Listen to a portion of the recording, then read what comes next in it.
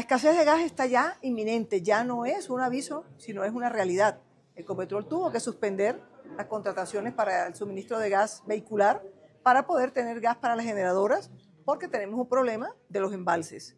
Entonces, lo que estamos insistiendo es que entiendan que las exploraciones son necesarias, las explotaciones son necesarias, tenemos suficiente gas en el país para poder hacerlo y evitar, y con esas exploraciones, si lo hacemos bien y no empezamos a ponerles trabas, podemos suplir la necesidad energética de nuestro país mientras hacemos la transición a las energías limpias. Entonces necesitamos exploración y explotación, porque si no, el problema va a ser grave.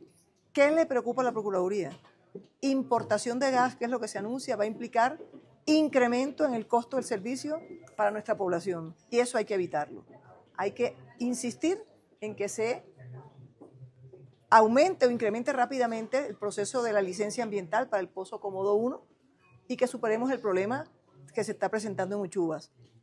El llamado es a que se articulen y rápidamente aumentemos las exploraciones para evitar la problemática de energía y de agua en el país. Entonces, este llamado lo hicimos con un oficio a las entidades correspondientes para que entiendan la problemática y actúen de manera rápida, pero de manera urgente en solucionar ese problema.